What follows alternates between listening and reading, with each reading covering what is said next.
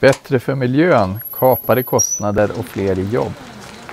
Det är vinsterna när den dagliga verksamheten Servicegruppen LV5 startar en digital förmedling av möbler.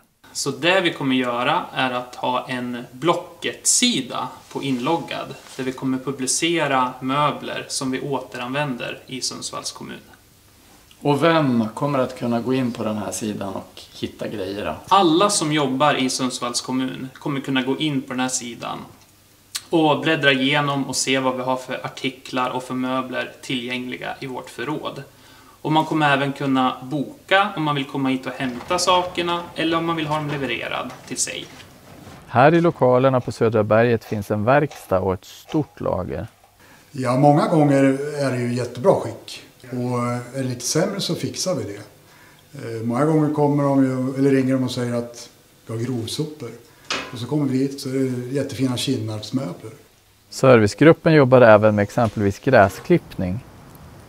Möbelförmedlingen är inte ny, men har hittills levt en anonym tillvaro. I dagsläget har vi åtta deltagare och i och med den här nya nischen vi kommer få så kommer vi få en till handledare och kunna ta emot fem till deltagare.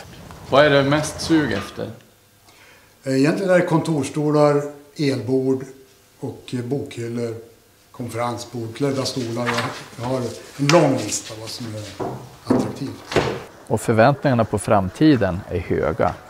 Mina förväntningar det är ju att eh, den här tjänsten kommer ta fart, explodera och att människor som jobbar i kommunen kommer ta för vana att gå in och se vad vi har i lager innan man köper nytt.